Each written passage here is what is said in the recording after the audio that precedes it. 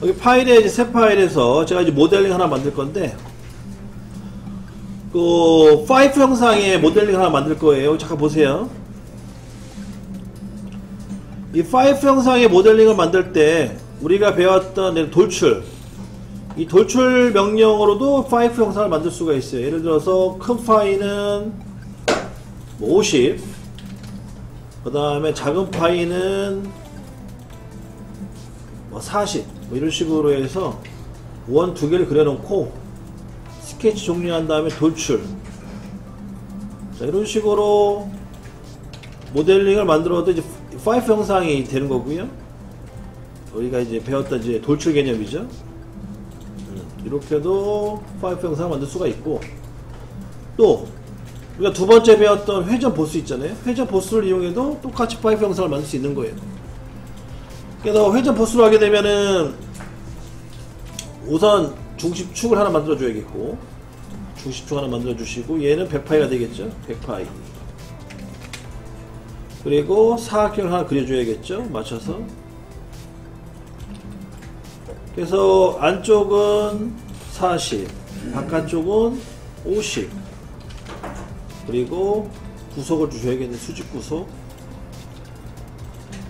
이런 식으로 이렇게 스케치하고 얘를 회전 보스 해도 똑같이 파이프 영상을 만들어집니다 그러니까 어, 딱 정답이라는 게 없어요 돌출로 해도 모델링이 완성이 되는 거고 그리고 회전 보스라고 해도 회전 보스로 해도 어, 모델링은 만들어집니다. 그러니까 그렇게 이제 생각에 약간 유연함을 가지셔야 되겠고요. 근데 이제 지금 같은 도면 있죠. 지금 나간 도면. 이 도면은 그 돌출로도 가능은 해요, 사실. 근데 돌출로 하려면은 작업이 되게 번거로워요. 그러니까 얘는 어쩔 수 없이 회전 보스로 우선 작업하는 게더 효과적입니다.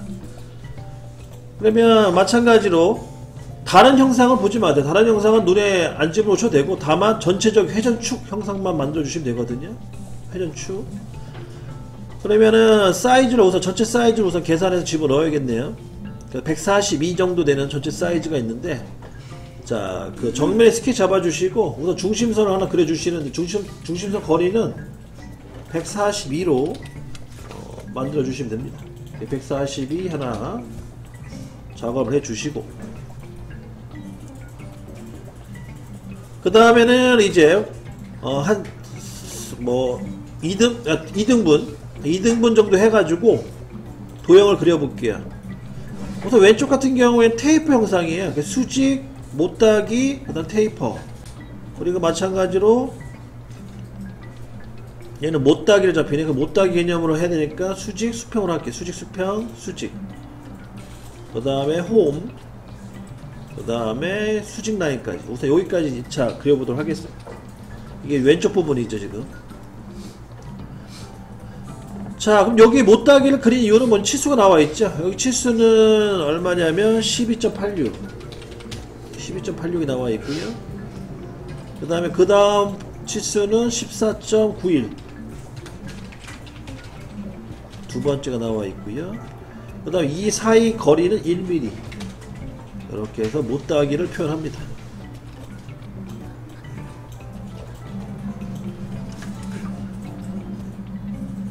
그 다음에 아, 아차 여기 또 숨은 수평선이 있었네요. 여기 자 보니까 자 테이퍼는 58.5까지 되어 있는 얘기죠. 그러므로 여기 잠깐 선을 잠깐 수정할게요.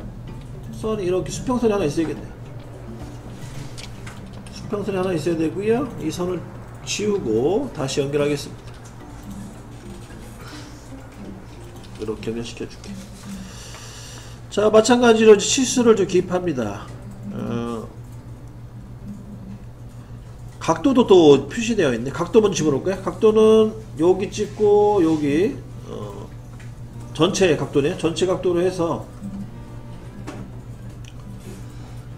전체 각도니까 잠깐만요. 이렇게 나눠서 합시다. 1.86 나누기 2 2.86 나누기 2에서 한쪽 방향으로 각도가 얼마냐면 1.43 만큼 들어가시면 되겠고요 그 다음에 거리값 거리값 넣어줘야겠죠 거리값은 왼쪽 수직 라인서부터 끝점까지 거리값이 얼마냐면 58.5 58.5라는 값이 들어가면 됩니다.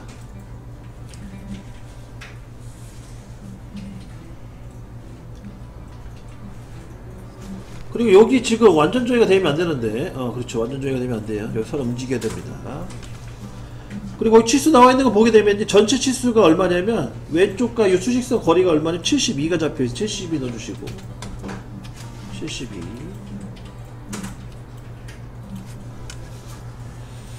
그리고 이 가운데 거는 못따기 포함해서 7mm 7mm 들어가네요. 그리고 여기는 4mm 홈 부분 4mm가 들어가고요.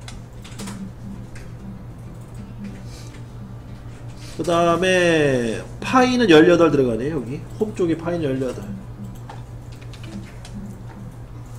그리고 여기는 20이 들어갑니다 20 이렇게. 그럼 완전 조회가 됐습니다. 다 됐으면 못따기 주시고 스케치 못따기에서 1mm 여기 1mm 못따기 줘야 되죠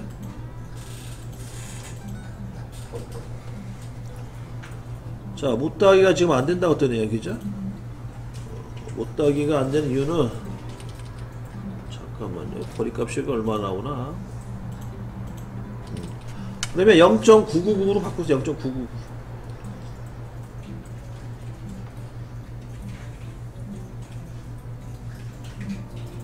(0.999로) 바꿔주시면 됩니다.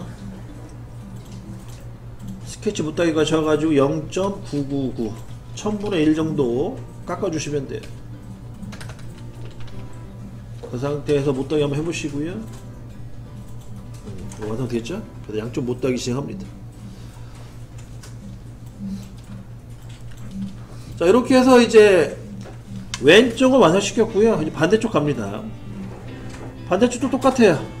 우선 수평 그려주셔야겠고 그 다음에 원호를 하나 그려야 되는데 원호는 이렇게 수직선 하나 그려서 원호 하나 첨부시킬게요.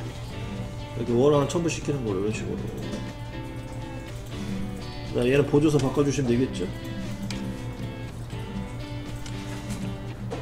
이렇게 하나 그려주시고. 그 다음에 여기에 또 선이 하나 이렇게 들어가야 되는데 이 선이 얼마냐면요. 우측면대 나와있죠? 우측면대 R16.5라고 써있어요 16.5라고 여기 표기하시면 됩니다. 16.5 그러면은 완성이 되는 거고. 그 다음에 앞쪽은 파이가 24네요. 24 이렇게 그 앞쪽은 24 뒤쪽은 16.5 이렇게 완성시켜 주시면 되겠고요. 그 다음에 R10이니까 파이 24 24원 들어가시면 되겠고. 그 다음에 70이 기준으로 해서 요 70일이 요 라인 기준으로 해서 요 원의 중심까지 거리가 얼마냐면 7.5 이렇게 해서 완성이 됩니다. 그럼 다 된 거죠? 그래서 여기에 맞춰서 잘라내시면 됩니다. 자르기. 이렇게 잘라내시면 완성이 된 거예요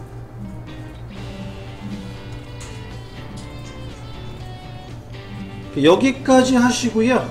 어, 다 됐으면 회전 보스 하세요. 그럼 1차 모델링 완성된 겁니다.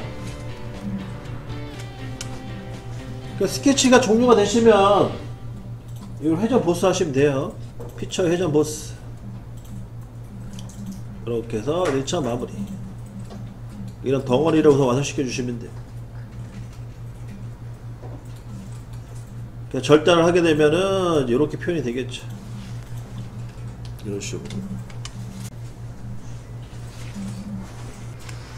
자 윗면 스케치 잡아주시고 윗면 스케치. 여기 보면 윗면 스케치 요걸 좀 씁니다. 그 다음 중심선 하나 그리세요. 중심선이 있어야 돼요. 그리, 중심선이 없어 그리기 좀 불편해. 중심선 하나 그려주시고. 자 평면들을 보니까 원이 있네요. 자 원 하나. 가운데 원 하나 있고 또 밑에 하나 또 있어요. 오른쪽에.